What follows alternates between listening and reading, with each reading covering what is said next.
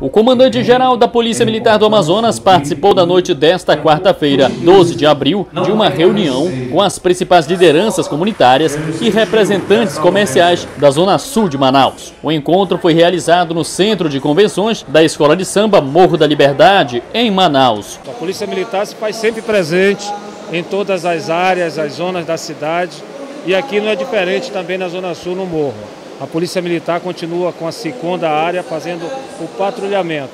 A você da população, você que é de bem, não tenha medo que o sistema todo de segurança está presente em toda Manaus. O secretário de Segurança Pública do Estado, Sérgio Fontes, reafirmou a parceria com a comunidade. No entanto, é isso que nós vamos fazer aqui, é tranquilizar a população. Estamos hoje iniciando uma operação grande, não só aqui na região da, do Morro, mas como em toda a região sul. Polícia Militar do Amazonas. Servir e proteger.